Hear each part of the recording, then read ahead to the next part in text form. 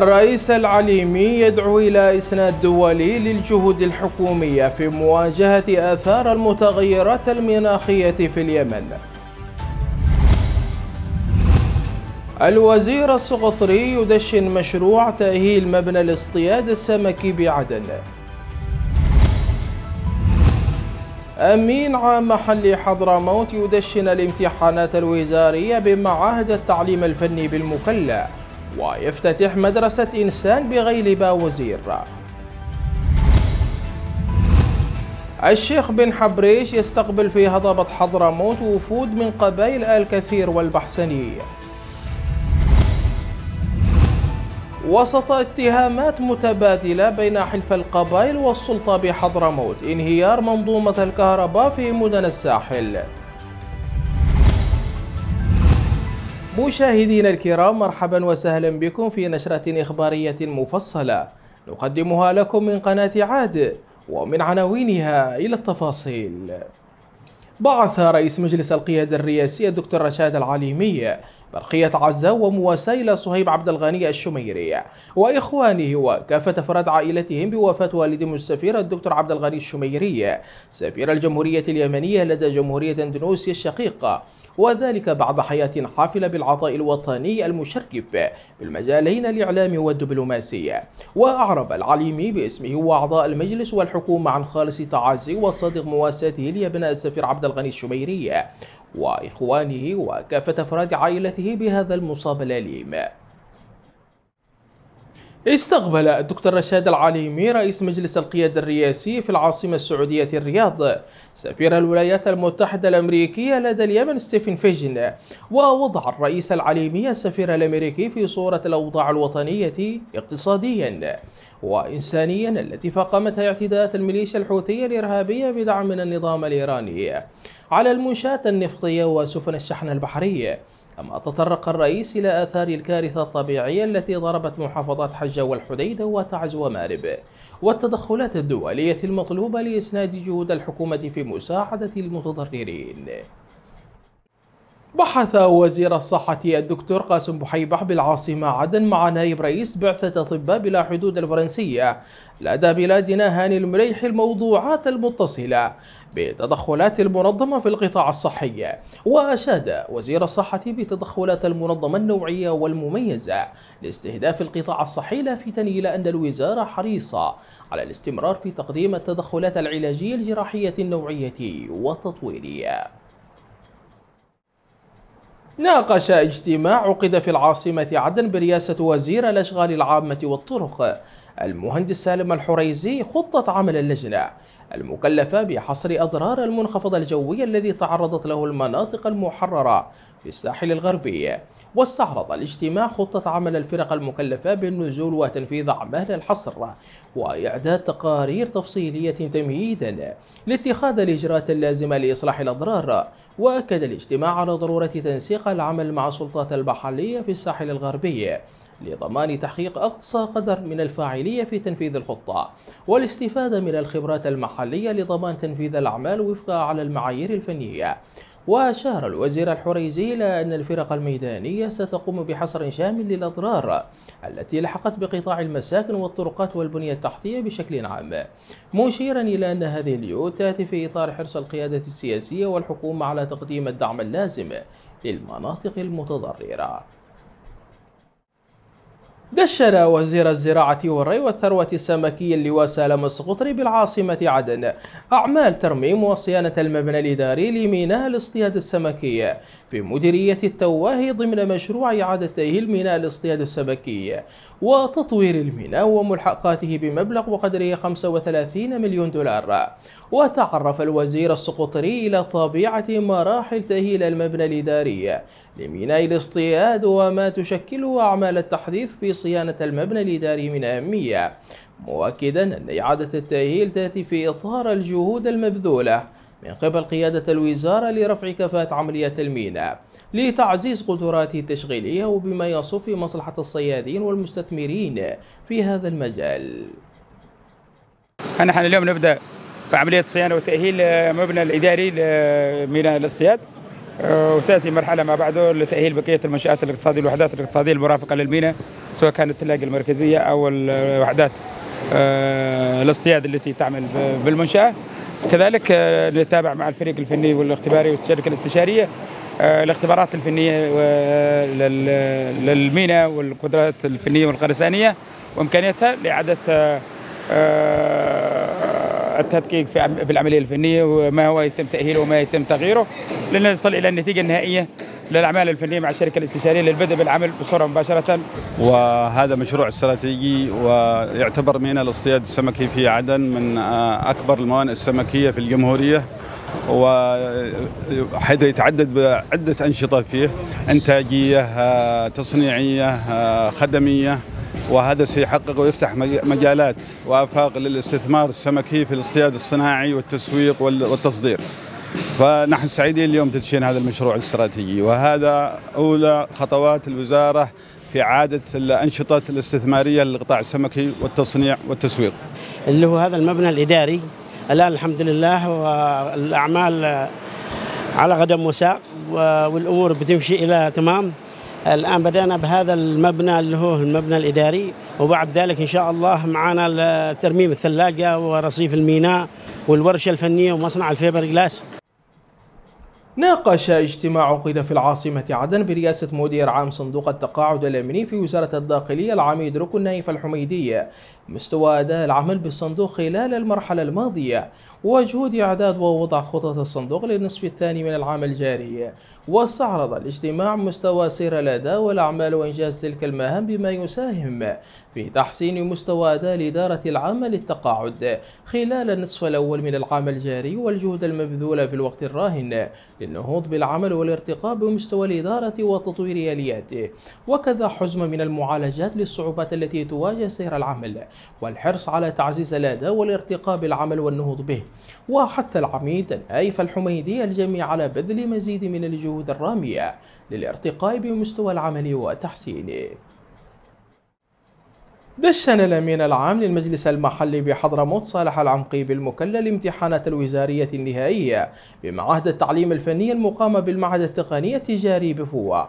وخلال تدشين اطلع الأمين العام المدير عام مكتب وزارة التعليم الفني والتدريب المهني بساحل حضرموت الدكتور سالم صالح باجابر على إجراء سير الامتحانات لمجمل المعهد الفني بساحل حضرموت وتهيئة الأجواء لإجرائها للمتقدمين الذين بلغ عددهم 248 طالبا وطالبة. افتتح الأمين العام للمجلس المحلي بحضرموت صالح العمقي ومعه المدير العام لمديرية غيلبا وزير سالم العطيشي.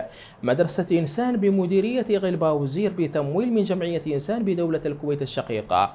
وخلال الافتتاح طاف أمين عام محل المحافظة بمكونات المدرسة التي تتكون من دورين تضم تسع صفوف مع ملحقاتها من قاعات ومختبرات.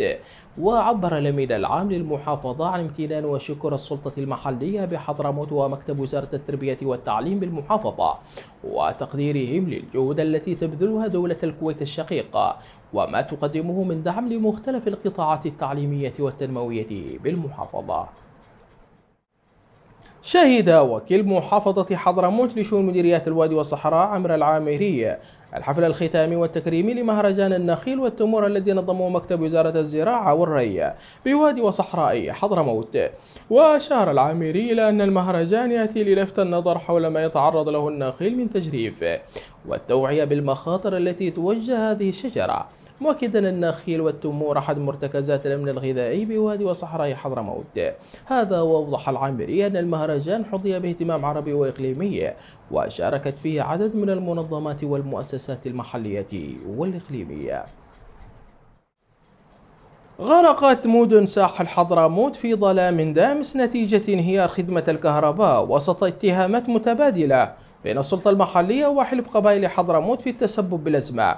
حيث أشارت مؤسسة الكهرباء بالساحل أن النقص الحاد في الوقود أدى إلى تعطل عدد من محطات التوليد نتيجة عدم تزويدها بوقود التشغيل من مادة الديزل الواصل من شركة بترومسيل بسبب التقطعات الحاصلة من جانبهم حمل حلف القبائل السلطة المحلية وشركة النفط ومؤسسة الكهرباء بحضرموت. المسؤولية الكاملة عن الانقطاعات. وتشهد مدن ساحل حضرموت حالة غليان بسبب الانقطاعات الكهربائية. استقبل رئيس حلف قبائل حضرموت الشيخ عمرو بن حبريش في هضبة حضرموت ومعه قيادات وشخصيات حلف قبائل حضرموت وفدا من قبائل الكثير. ورحب رئيس حلف قبائل حضرموت برجالات ومشايخ ووجهاء عقال قبائل الكثير وقدموهم إلى هضبة حضرموت لمؤازرة ومساندة موقف حلف قبائل حضرموت وتبنيه القضايا والمطالب الحقوقية المشروعة لحضرموت. وأبنائها مشيرا إلى أن قبائل الكثير سند وأساس لحلف القبائل وحضرموت عامة ومواقفهم سابقة ومشهودة. استقبل رئيس حلف قبائل حضرموت الشيخ عمرو بن حبريش العليي جمع من وجهاء وعقال قبيلة البحسنية مرحبا بقدومهم إلى هضبة حضرموت لتأييد حلف قبائل حضرموت ومساندة ما اتخذه من مواقف صائبة. تصب في مصلحة حضرموت وتحقيق مطالبها المشروعة وانتزاع حقوقها. وأوضح الشيخ بن حوريش بأن مساندة مختلف القبائل وأطياف المجتمع ووقوفهم إلى جانب حلف قبائل الحضرموت تعزز من دوره ومن صلابة موقفه تجاه حضرموت وأهلها وتحقيق المطالب الحقوقية العادلة والمشروعة التي تتبناها.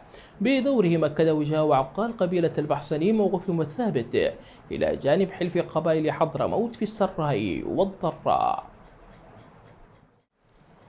نظم مكتب مؤتمر حضرموت بوادي وصحراء حضرموت وقفة احتجاجية شعبية حاشدة بمدينة سيون تأييدا لتصعيد حلف قبائل حضرموت من أجل تحقيق مطالب وحقوق أبناء حضرموت المشروعة وفي الوقفة التي أقيمت أمام المنصة الرئيسية بشارع الجزائر بسيون رفع المحتجون شعارات الجامع والحلف حيث ألقى رئيس مكتب مؤتمر حضرموت الجامع بالوادي والصحراء صالح التميمي كلمة أمام الحشد شاكرا لهم تلبية الدعوة في هذه الوقفة الاحتجاجية الشعبية التي تعبر عن مطالب أبناء وادي حضرموت بمطالبهم المشروعة التي عبر عنها البيان الصادر عن الاجتماع الاستثنائي لمؤتمر حضرموت الجامع في يوليو الماضي مشيرا إلى أن حضرموت اليوم تعيش حراكا مجتمعيا وشعبيا كبيرا.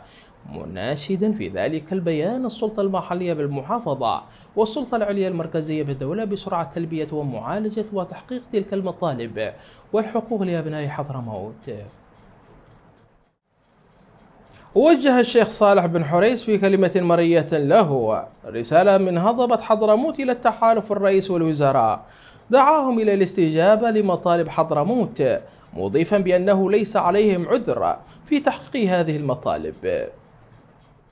هذه رسالتي من الهضبة من عند النفط إلى التحالف وإلى الرئيس وإلى الوزراء. مطالب حضرموت لابد أن تستجيبوا لها. ما لكم عذر اليوم قام الشعب ولا يمكن أبدا مطالب حضرموت كلها لازم تستجيبوا لها. نفتنا ما أدري وين يروح ثرواتنا ما ندري الناس ماتت. من كل جهة الناس تنادي اليوم بهالموت بهالفقر. لا صحة لا تعليم لا معيشة. هذا إحنا ما لنا عدو لكن عدونا ذي بيدلحنا وبيدمر إحنا هذا العدو. وثرواتنا لابنا حضرموت بإذن الله والمعنويات فوق. واليوم الشيخ عمرو بن حبريش نزل من على كرسي وكيل. ولا يمكن عاد حد ينزل مثله. وقام قدام الشعب ونادى عند النفط. وقال حقوق حضرموت وإحنا مساندينه. بكل قوة. هذه حضرموت ولا تقولون اللي اللي يقول حضرموت قده ما بيعمل واللي يتغنون بحضرموت نباهم يحضرون في الميدان. ما هو يتغنون في البرايد ومعاه حضرموت ومعاه حضرموت وهم ضد حضرموت دشن في مكتب الأوقاف بمديرية الشحر المرحلة الأولى من الإدخالات التقنية الرقمية للمكتب من الأرشفة الإلكترونية والنظام المحاسبي وفق الخطة العامة لتطوير العمل داخل مكتب الأوقاف بالشحر وتشمل المرحلة الأولى الإدخالات الأرشيفية والنظام المحاسبي وتشمل المرحلة الثانية إدخالات ما تبقى من البيانات الرقمية للمكتب لمواكبة التطورات والعمل وفق ما تقتضيه المصلحة العامة والعمل بالنظام الإلكتروني. بدأت صباح اليوم الأحد حملة لإجراء الفحص الفني لمركبات نقل البضائع العاملة بمدينة المكلا من قبل الهيئة العامة لتنظيم شؤون النقل البري فرع حضرموت. المكلا بالتنسيق مع السلطة المحلية بمحافظة حضرموت عبر إدارة الأمن والمرور بالمحافظة لإخضاع المركبات للكشف الفني الدوري بحسب متطلبات واشتراطات محددة على أساس فني. وتأتي المرحلة الأولى في إجراء الفحص الفني لمركبات نقل البضائع العاملة في ميناء المكلا ضمن مكاتب النقل البري المرخصة من قبل الهيئة العامة لتنظيم شؤون النقل البري فرع حضرموت المكلا. على أن تشمل المراحل القادمة جميع مركبات النقل البري للمشتقات النفطية والمواد المبردة. وكذلك فحص حافلات شركات الركاب وإيقاف الحافلات غير المؤهلة لنقل المسافرين. توقع مركز التنبؤات الجوية والإنذار المبكر في الهيئة العامة للطيران المدني والأرصاد. تأثر مناطق متفرقة بأمطار رعدية ورياح شديدة خلال 72 ساعة القادمة وذلك بحسب ما بينته صور الأقمار الصناعية ومخرجات النماذج العددية العالمية المختلفة والرصد السطحي وطبقات الجو العليا. وأشارت النشرة التحذيرية الصادرة عن المركز إلى احتمال استمرار هطول أمطار رعدية غزيرة. بعضها مصحوبة بالبرد على المرتفعات والمنحدرات والسهول الساحلية الغربية. واستمرار هطول أمطار متفاوتة الشدة. بعضها رعدية على إزام صحاري ومرتفعات وهضاب وسواحل محافظات الجنوب. استقبل الأستاذ علي الكثيري القائم بأعمال رئيس المجلس الانتقالي الجنوبي رئيس الجمعية الوطنية اليوم الأحد وفد من منظمة Handicap International الدولية. واستمع الكثيري خلال اللقاء من السيد ريش مع عزمي المدير القطري للمنظمة. إلى شرح واف عن تدخلات المنظمة التي تقدمها في مجال العملية الطبي والتوعوي والدعم النفسي في العاصمة عدن ومحافظة لحج وبقية المحافظات المحررة والمساعدات التي تقدمها لذوي الإعاقة من ضحايا الحرب وجرحى الألغام والنزاعات والكوارث.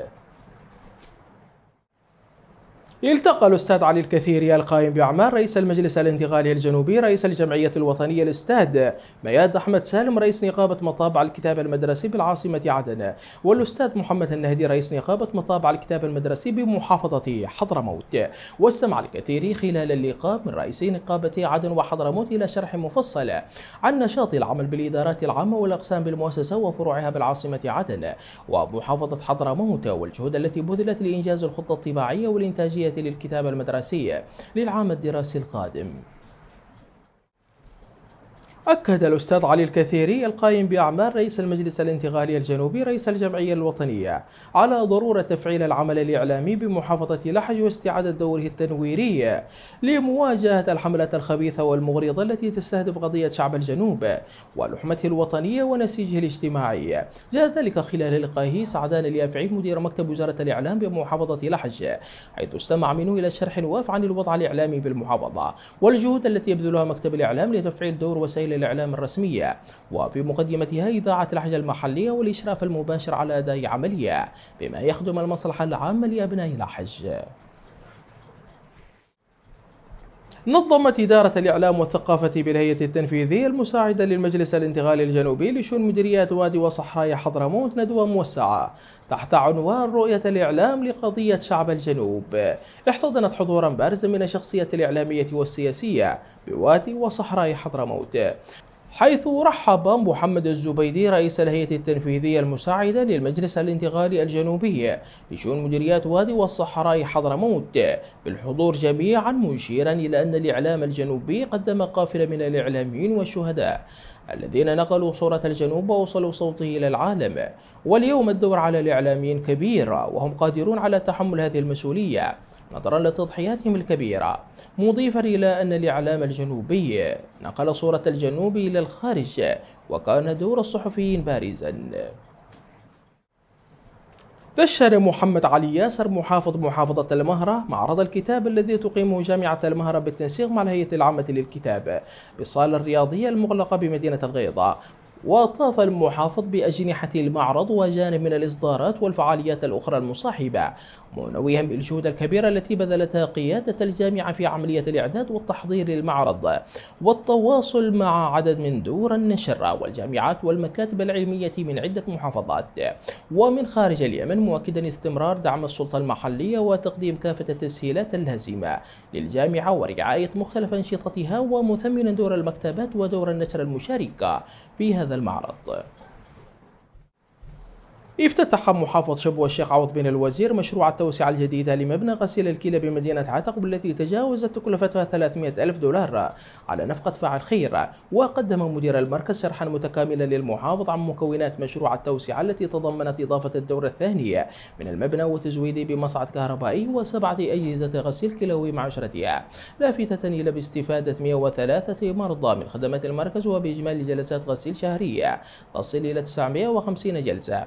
وشاد المحافظ الشيخ عوض بن الوزير بتكامل مشروع توسعة المركز لافتا بحاجته لها مجددا على تأكيد اهتمام قيادة المحافظة بكافة المراكز التخصصية بالمحافظة. دشن الأمين العام للمجلس المحلي بمحافظة شبوة عبد ربو هشل الدور الأول من مسابقة مجاز شبوة. في القرآن الكريم بمشاركة 13 متسابقا. ونقل الأمين العام هجل تحية محافظ المحافظة الشيخ عوض بن الوزير للمتسابقين. مؤكدا اهتمامه بحفظ كتاب الله ودعم مسيرة إبحارهم في علومهم منوه بتمييز المركز في خدمته على المستوى المحلي والوطني. لافتا بنجاح تجاربه في رعاية محافل القرآن الكريم والاحتفاء بحملة مشاعله من النشي والشباب. افتتح وكيل محافظة شبوة محمد الفاطمي ومدير عام مديرية بيحان محمد شيخ مدرسة الجودة للتعليم الأهلي بالمديرية والمكونة من روضة أطفال والفصول الأربعة الأولى من التعليم الأساسي. ورحب الوكيل الفاطمي والمدير شيخ بافتتاح ثاني مدرسة للتعليم الأهلي بمديرية بيحان المعروفة بكثافتها السكانية ونوه بالتزامن افتتاحها مع إطلالة العام الدراسي الجديد. داعيان إلى توسعة فصولها الدراسية لتشمل المرحلة الأساس من التعليم العام لافتان بدور التعليم الأهلي في النهوض بالعملية التربوية والتعليمية. اختتم في الإدارة العامة لصندوق صيانة الطرق والجسور في المركز الرئيسي بالعاصمة عدن البرنامج التدريبي الخاص بتأهيل موظفي الصندوق والعاملين فيه حول الصحة والسلام المهنية لتزويدهم بمهارات عملية تمكنهم من الحفاظ على بيئة عمل صحية وآمنة. واستهدف البرنامج تدريب 40 موظف وموظفة جرى خلاله. تقديم برنامج شامل على السلامة المهنية على مدى خمسة أيام حيث هدفت إلى خلق ثقافة صحية مساهمة في بناء سلوكيات تدعم إنتاجية الصندوق الصحي وجرى بالختام تكريم الموظفين المشاركين. شهدت مناطق متفرقة في محافظة مارب هطول أمطار غزيرة استمرت لساعات ما أدى إلى تضرر الكثير من مخيمات النازحين. وقالت مصادر محلية إن مجموعة كبيرة من المخيمات تعرضت لأضرار كبيرة. جراء هطول الأمطار الغزيرة وتدفق السيول داخل المخيمات. مؤكدا أن سيول الأمطار تدفقت بشكل كبير إلى مخيمات بعض الأسر وما دفعها. إلى الانتقال إلى مخيم آخر وسط حالة يرثى لها مشيرة إلى أن النازحين وجهوا نداء للصغار استغاثة عاجلة. إلى الوحدة التنفيذية لإدارة مخيمات النازحين والسلطات المحلية. في معرب التدخل العاجل لإنقاذهم ولكن لا حياة لمن تنادي حتى اللحظة. شيعت ميليشيا الحوثي الجثامين عدد من قيادتها العسكرية البارزة في صنعاء لقوا مصرعهم بصورة غامضة. وبحسب وسائل إعلام حوثية أكدت أنه جرى تشييع أربع من قياداتها قالت إنهم لقوا مصرعهم في جبهات القتال هذا وتشهد محافظات يمنية عدة. واقعة تحت سيطرة الميليشيات الحوثية عمليات تشييع يوميا لعناصر وقيادات ميدانية موالية للجماعة. في ظل التصعيد العسكري المتواصل الذي تنتهجه هذه الميليشيا المدعومة من إيران. وسعت قوات الاحتلال الإسرائيلي أوامر الإخلاء القسري في مناطق بمدينة خان يونس جنوب قطاع غزة بينما نسفت. عدد من المنازل غرب مدينة رفح جنوب القطاع وطالب جيش الاحتلال المواطنين والنازحين المتواجدين في حي الجلال معروف بمدينة حمد شمال مدينة خان يونس بالإخلاء فورا. كما جدد مطالبة المواطنين في أحياء جديدة من مركز مدينة خان يونس بإخلائها قسرا وفي مدينة رفح جنوب قطاع غزة نفذت قوات الاحتلال الإسرائيلي عمليات نسف لمباني سكنية في الأحياء الغربية. من المدينة. هذا وتواصل قوات الاحتلال الإسرائيلي عدوانها على قطاع غزة برا وبحرا وجوا منذ السابع من تشرين الأول ما أسفر عن استشهاد 39790 مواطنا وإصابة 91702 آخرين. فيما لا يزال آلاف الضحايا تحت الركام وفي الطرقات ولا تستطيع طواقم الإسعاف والدفاع المدني الوصول إليهم. مشاهدينا الكرام إليكم تذكير بأبرز ما جاء في النشرة من أنباء. الرئيس العليمي يدعو إلى إسناد دولي للجهود الحكومية في مواجهة آثار المتغيرات المناخية في اليمن. الوزير السقطري يدشن مشروع تأهيل مبنى الاصطياد السمكي بعدن. أمين عام محلي حضرموت يدشن الامتحانات الوزارية بمعاهد التعليم الفني بالمكلا. ويفتتح مدرسة إنسان بغيلبة وزير الشيخ بن حبريش يستقبل في هضبة حضرموت وفود من قبائل آل كثير والبحسنية وسط اتهامات متبادلة بين حلف القبائل والسلطة بحضرموت انهيار منظومة الكهرباء في مدن الساحل. مشاهدينا الكرام وصلنا وإياكم إلى ختام نشرتنا لهذا اليوم. شكرا لطيب المتابعة. ولمزيد من التفاصيل تابعونا على مواقع التواصل الاجتماعي. دمتم بحفظ الله ورعايته. وإلى اللقاء.